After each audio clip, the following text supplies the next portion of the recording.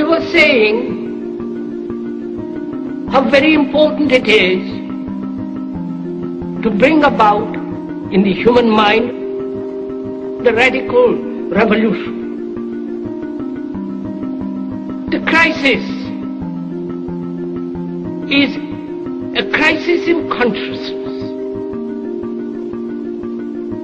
a crisis that cannot anymore accept the old norms, the old patterns, the ancient traditions.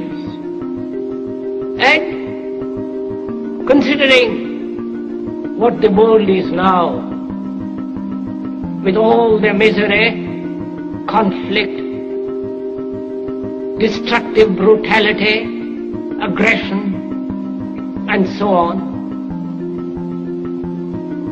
man. He's still as he was.